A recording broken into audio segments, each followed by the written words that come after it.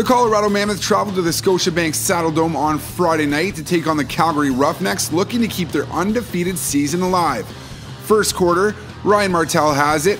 Brad Self gives him too much time and space. Martell puts it five hole on Dillon Ward. That's his first career NLL marker, and it's 1 0 Roughnecks. Mammoth 0 for 5 on the power play heading into the night, but Ryan Benesch is going to put it home after some impressive ball movement, and we've got a tie game.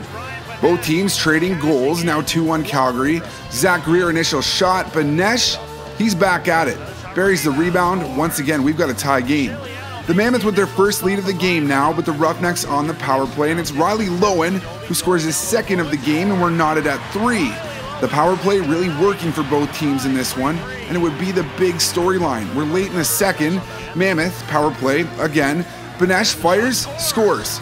He's got the hat trick en route to his second eight point night of the season. The Mammoth, they pull away. That goal was the start of a six goal run. Jordan Gillis scores the team's fifth power play goal of the evening. Stephen Keel would put the icing on the cake. That's the Mammoth's 11th goal of the night. The Roughnecks would add two in the final minute, but it would not be enough. Mammoth improved to 3 0 and keep their undefeated season alive and win this one by a final score of 11 7.